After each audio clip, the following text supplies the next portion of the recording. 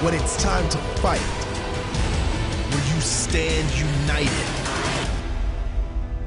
It's time to start a fight.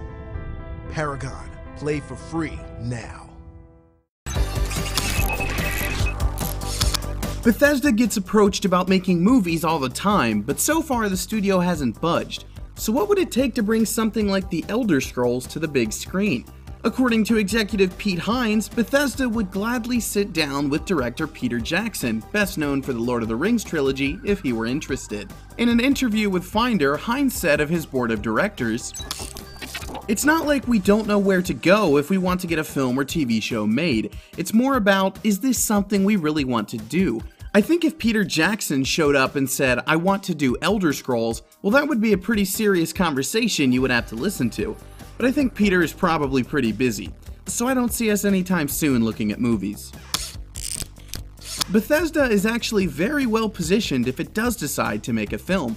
Pirates of the Caribbean's Jerry Bruckheimer and former MGM CEO Harry Sloan are both on the company's board of directors. If the studio announces anything down the road, you'll hear about it from GameSpot.